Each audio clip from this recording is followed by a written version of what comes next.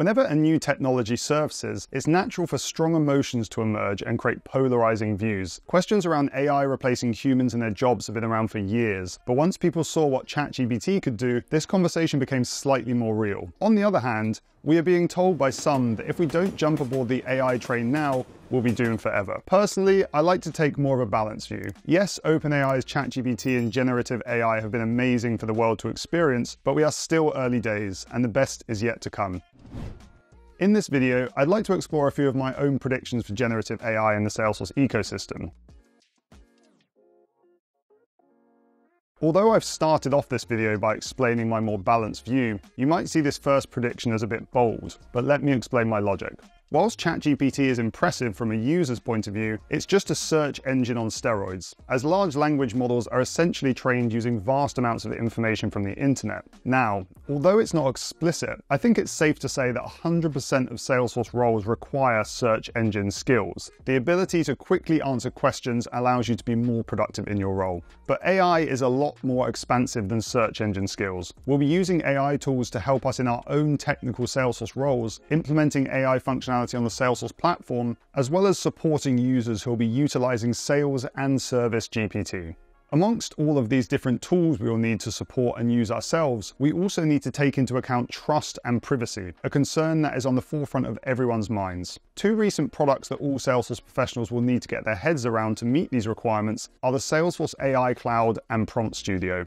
But before launching into a full blown panic about your lack of AI skills, just remember how early days we are. ChatGPT was only released at the end of November 2022, and Salesforce are only just beginning to announce and release their AI features. You are also not alone. In a recent survey of 4,000 desk workers, they found that while 54% of workers believe generative AI will advance their career, 62% say they don't have the skills to effectively and safely use the technology. So although AI is coming at us thick and fast, no one is truly an expert expert yet in the Salesforce ecosystem, and we all have time to level up our skills before it comes a requirement.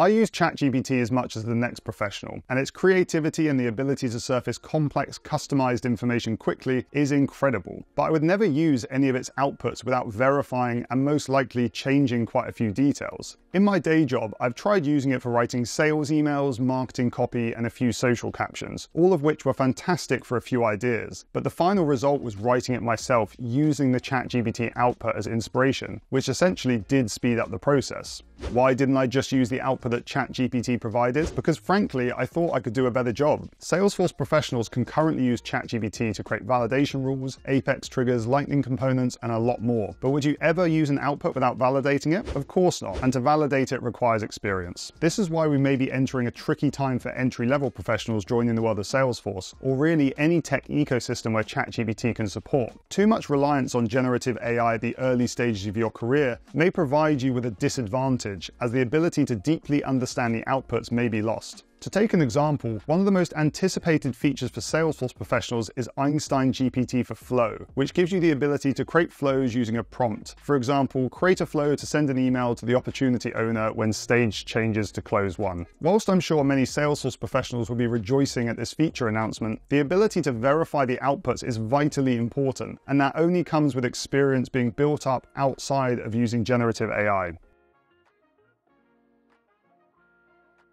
If we try and think 30 years from now, I don't think it's too far-fetched to imagine that most homes will have some sort of artificial general intelligence, which will be as ubiquitous as our Amazon or Google smart speakers. Perhaps they'll cook food for us, monitor our health, or even diagnose why the printer won't connect but AI assistance for Salesforce professionals could be right around the corner. ChatGPT has given us an insight into what this assistant could do for us, for example, creating Apex code, validation rules, or writing out the steps to create a flow. But there are a few obvious drawbacks. OpenAI's latest large language model is GPT-4, which uses 170 trillion parameters that can answer questions on essentially anything, so it's extremely generic. ChatGPT's interface also doesn't help with specific Salesforce questions. There are no hints or pre-made prompts to help you answer your question. But obviously, this isn't what ChatGPT was built for. It was built for everyone. So, what happens when people start building purpose made tools to assist technology professionals, and in particular, Salesforce? We are seeing this in tools such as GitHub's Copilot, and we will soon start to see the impact of Einstein GPT for Flow, as well as Einstein GPT for developers. This will improve developer productivity with an AI chat assistant to quickly generate code and ask questions for languages like Apex, all powered by Salesforce's proprietary LLM. Productivity AI tools could be soon available for every desk job on Earth. When we start combining a highly trained LLM for a specific use case, mixed with a user interface that can support specific roles with common problems, magic really starts to happen. It's not hard to get caught up in the excitement of AI and the promise of how disruptive this will be to the entire world, but it's also sensible to be cautious after all, if you're excitable like me, you might have been caught up in the recent waves of metaverse, NFTs, and crypto, only to be pretty disappointed. But AI is a bit different than the latest fad. ChatGPT has shown the world what is possible with the first widely accessible large language model and simple interface, with most people being blown away by its outputs. But of course, we are only at V1 of what AI can accomplish for us. V2 will come in the form of existing platform integrations with large language models provided by companies such as OpenAI, delivering further insights based on extra context provided. Salesforce has recently announced 16 products that will be rolling out over the summer of AI, these include features such as email sales generation, reply recommendations in Service Cloud, or subject line generation in Marketing Cloud. While Salesforce already has a huge amount of productivity features, and Salesforce professionals around the globe work our damn hardest to support Salesforce users' adoption, sometimes it's hard to sell the value to those that don't like to update a CRM. But as AI on the Salesforce platform evolves and new features allow manual work to slowly be eliminated from users' daily lives, general happiness and productivity should increase. According to a recent survey from Salesforce, business leaders see this having the following effects 82% of business leaders say generative AI will lower overall business costs, and 80% of business leaders say that generative AI will increase revenue. The compounding impact that AI has the potential to influence is pretty incredible. More productive users, lowering costs, increases in revenue, this could all usher in a new age of growth across the globe.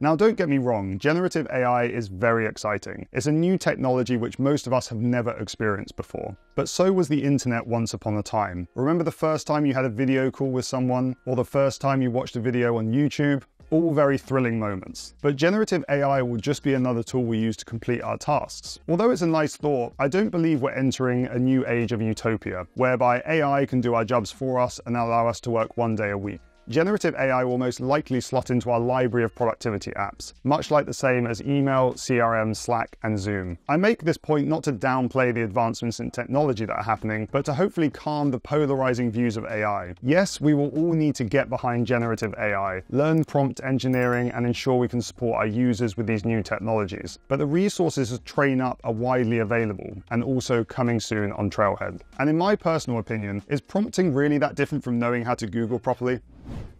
Whilst it's impossible to predict anything in this fast moving world we are living in, there is no doubt that AI is here to stay and will embed itself within our working and personal lives. Salesforce professionals are in a unique position where we'll be using AI ourselves, implementing AI features and tools, as well as supporting our users. But we are still early days. The real power of AI is yet to show itself. And whilst we all need to get ready for this wave of transformation that is about to hit us, we have time to learn generative AI in the right way and ensure we are using it correctly.